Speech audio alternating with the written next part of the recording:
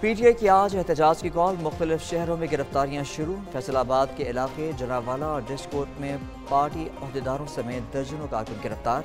इस्लामाबाद के डी चौक पर एहतजाज के पेश नज़र छापे। पुलिस ने रास्ते बंद करने के लिए कंटेनर्स भी पकड़ने शुरू कर दिए। मियाँ वाली में सात अक्टूबर तक दफ़ा एक सौ चवालीस नाफिज तीन अक्टूबर तक के लिए रेंजर्स की दो कंपनियाँ तैनात। एम पी ए से कई अहदेदार और कारकुन गिरफ़्तार।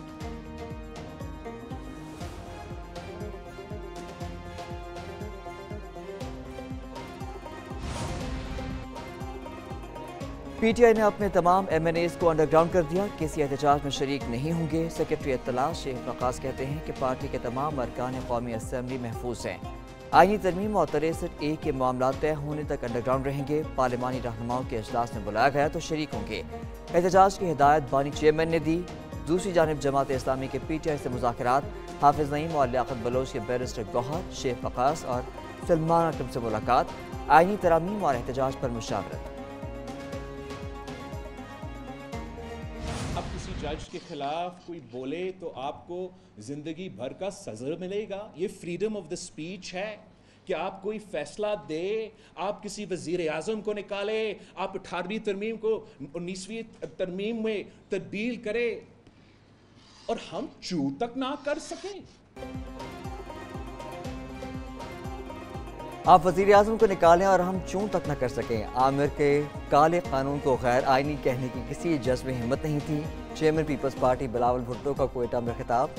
कहा आइनी अदालत में जस्टिस काजी फायज ईसा बैठे या जस्टिस मंसूर शाह? कोई मसला नहीं आइनी असलाहत किसी को रोकने और किसी को बनाने के लिए नहीं। चारों सूबों को यकसा हकूक देना चाहते हैं। जो आइनी अदालत को नहीं मानता, वो वकालत और सियासत छोड़ते। हर रुकने पार्लियामेंट को माजी के मुताबिक वोट का हक हासिल है?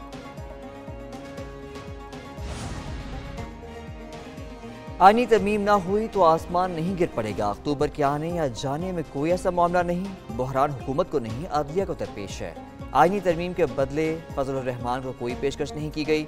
वज़ीर अजम के मुशीर राना सनाउल्ला के प्रोग्राम में एक पेश में बातचीत, कहा फजल रहमान की तजवीज़ पर पार्लियामेंट का अजलास मौखर किया गया था। बानी पी टी आई के मिलिट्री ट्रायल के लिए आइनी तरमीम की ज़रूरत नहीं। सिक्योरिटी फोर्सेज चाहती है कि दहशत गर्दों का आम अदालतों में ट्रायल हो। तिरसठ ए का फैसला सुप्रीम कोर्ट के चेहरे पर बदनुमा दाग है।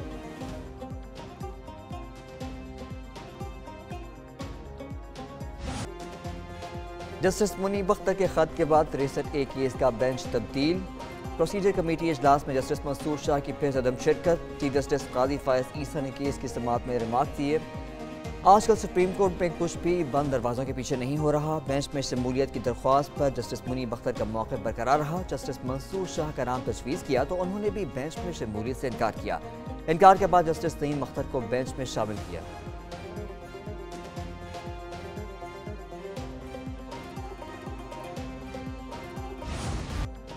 अदम अतमाद में अगर वोट ना गिना जाए तो वज़ीर अजम को हटाया नहीं जा सकता। इस तशरी का मतलब है आर्टिकल पचानवे गैर फाल हो गया। आइन वाज है तो अपनी तरफ़ से कैसे कुछ शामिल किया जा सकता है? दरअसल, ए नजरसानी केस में चीफ जस्टिस काजी फाजीसा के रिमार्क्स, कहा फैसले में ये कहा, लिखा है कि वोट ना गिने जाने पर रुकन ना अहल होगा। फैसला तो जमात के सरबरा पर छोड़ रहा है। सदारती रेफरेंस पर सिर्फ़ राय दी जा सकती है, इस पर कोई फैसला नहीं दिया जा सकता। विफाकी हुकूमत और पीपल्स पार्टी की नजरसानी अपील की हिमायत आज बाकी वकला को सुना जाएगा। गुजशत रोज़ की समात का हुक्मनामा जारी। कुछ सवाल पर फरीकैन को मुआवनत की हिदायत। वज़ीर अजम का महँगाई की शरह चवालीस माह की कम तरीन सतह पर आने पर इजहार तशक्र महँगाई के सितंबर में सालाना शरह भी छः आशारिया नौ फ़ीसद होने पर मौसी टीम की पजीराई। शहबाज शरीफ ने कहा कि महँगाई की शरह कम होने से आम आदमी को रिलीफ मिलेगा। पेट्रोलियम कीमतों में मुसलसल कमी से आवाम को रिलीफ मिल रहा है। शरह सूद कम होने से कारोबारी सरगर्मियों में इजाफा होगा। पाकिस्तान के डिफ़ॉल्ट की ख्वाहिश करने वालों का मनसूबा नाकाम हुआ। कौम ने एक ग्रोह की नाअहली की वजह से मुश्किल काटी।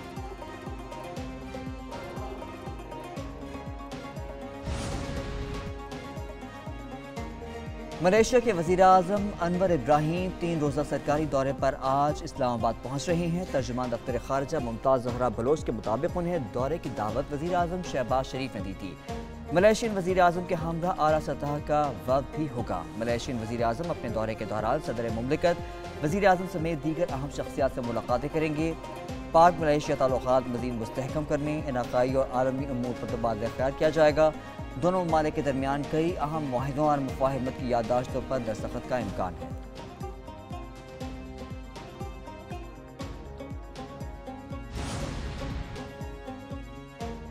नामवर स्कॉलर डॉक्टर जाकिर नायक की मौलाना फजल रहमान की रिहाइश का आमद मुलाकात की। जाकिर नायक ने मौलाना फजल रहमान की इब्तदा में नमाज़ मगरब अदा की। जाकिर नायक का स्वीट होम का दौरा, कहते हैं कि स्वीट होम के फरिश्तों और परियों से मिलकर खुशी हुई। जाकिर नायक की स्पीकर कौमी असम्बली अयाज सादिक से भी मुलाकात। जाकिर नायक ने ऐवान का भी दौरा किया। जाकिर नायक आज कराची पहुँचेंगे। जामिया बनौरिया का दौरा होगा।